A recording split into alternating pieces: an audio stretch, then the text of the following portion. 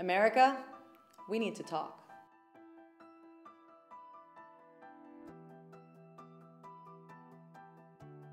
The political conversation in Puerto Rico is very different from the one in the US. In the US, it's Democrats, Republicans, liberals uh, versus um, conservatives, right, left. When you go to Puerto Rico, we don't really relate to that. We're not either Democrats or Republicans. We're either statehood, independent, or Commonwealth.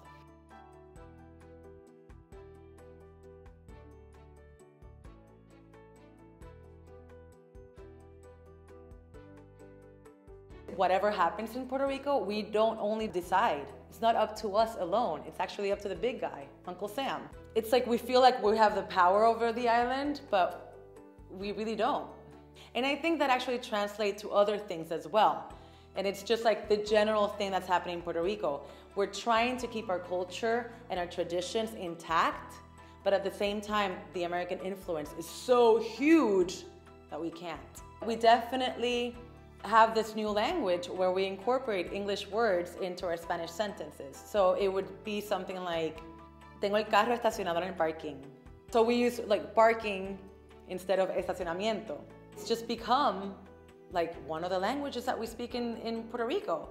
And it's very much part of our culture and especially part of my generation and my the generations following me. Whether that's good or not, I don't know. I do know that Spanish is a beautiful language and I would love to to keep it as intact as I can, but I find myself struggling sometimes when I'm speaking in Spanish and I'm really trying to keep all the sentences, all all the words in Spanish.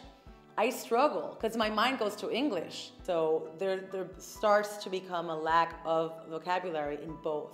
You know, it's, it's another piece of the puzzle that we don't really know where it belongs.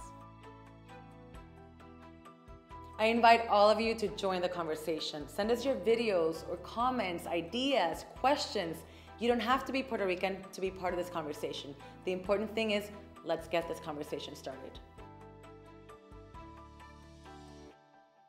Oh, and we do pay taxes.